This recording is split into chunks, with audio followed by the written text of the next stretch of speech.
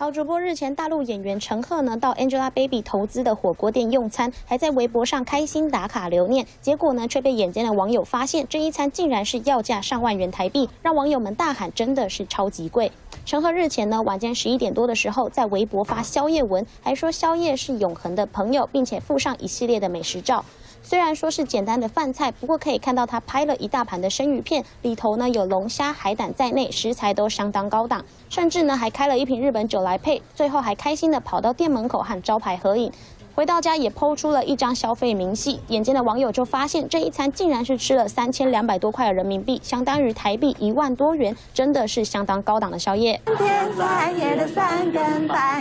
其实呢，大陆女星 Angelababy 除了演艺事业以外，私底下也有和老公房晓明一同投资火锅店。如今呢，消费明细公开，也让网友们大叹，这肯定不是一般人可以消费的店。以上是我们找到的，请主播。